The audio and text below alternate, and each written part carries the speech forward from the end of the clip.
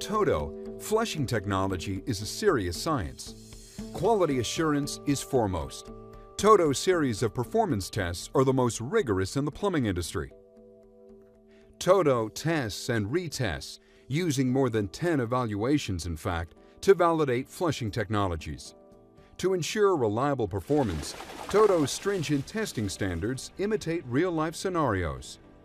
Toto conducts many liquid tests, including one with 500 milliliters of dyed liquid, 150 milliliters more than in common bathroom breaks. Toto understands that accurate testing must recreate normal conditions.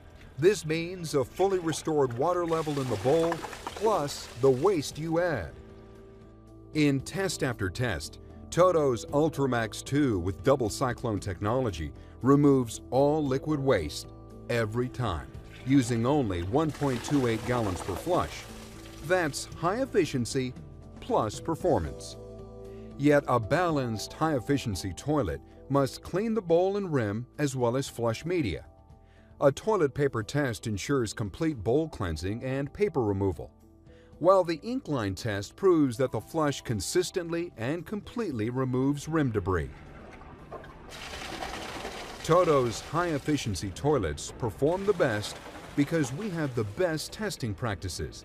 Toto is proud of our high-efficiency, high-performance 1.28 gallon per flush toilets and water conservation. And as consumers, you should accept no substitutes.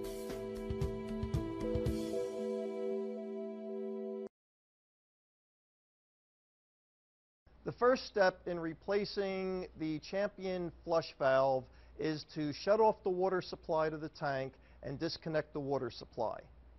Next is to drain the water out of the tank by lifting up on the flush tower and holding it up until all the water drains out of the tank.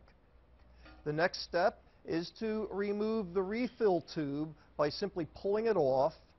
And next is to disconnect the bead chain from the trip lever arm by pulling out the pin and holding onto the parts. After that's all disconnected, take a long socket wrench and remove the nuts that hold the tank to the bowl.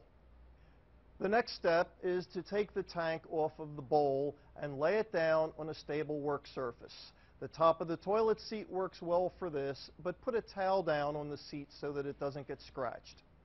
Remove and save the tank coupling gasket, and using the special wrench that's provided with the new flush valve, remove the nut that's holding the flush tower in place.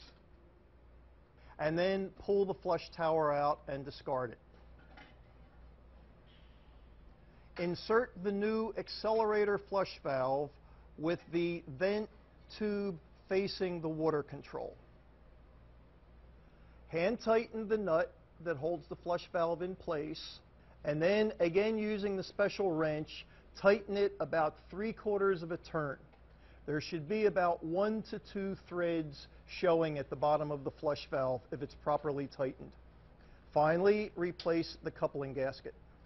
The next step is to reattach the bead chain to the trip lever arm.